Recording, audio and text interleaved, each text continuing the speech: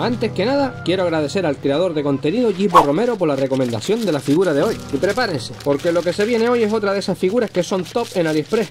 Y es tan top que debería saltarme la parte de cuando doy mi nota. Pero vamos por parte, ¿no? Comenzamos diciendo que hay opción de compra con caja, pero primero habrá que quitarle todas las arrugas y armarla para que nos quede tal que así.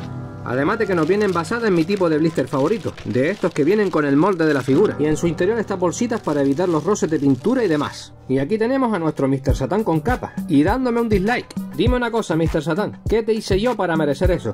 ¿Tan malo soy haciendo vídeos? El nivel de detalle de esta figura me parecen absurdos, pero a modo de bien. Mira estas botas, esos cordones y ese cinturón, me parecen una bestialidad.